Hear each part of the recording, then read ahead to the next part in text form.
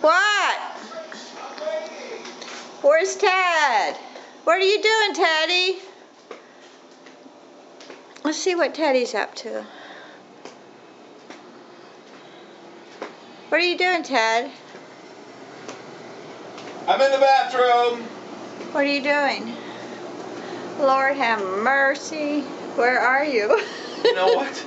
I washed my hair and then I rinsed it. I turned on the, the jacuzzi and look what happened. I, oh, oh my gosh. look at it. You can't even see my hand. You know what? Huh? I think you need. Oh, don't put no more of that in there. I, that's what. That's what started. No, no, don't, don't, don't, don't, please. No, don't. Lord, no. Oh no. How am I gonna get out of here? I'm gonna float away in these bubbles. I think you need more bubbles. I don't need more bubbles. Let's see what happens. Let's see if it overflows. I think yes. Are you having fun? Yeah, are we done yet?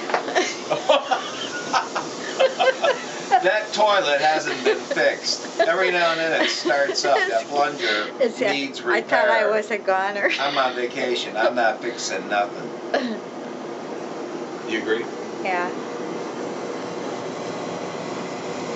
Well, you fit very nicely in this tub. Look, ma, no hands. I know. I think You look good. very comfortable. Yeah, it's pretty nice. I'm not gonna wash my hair again. Wash it. Huh? Wash your hair. No. You're gonna have to take a shower to get the bubbles off of you. The trick is don't take, don't wash your hair, rinse it, and then turn turn on the jacuzzi. That's the problem. All right.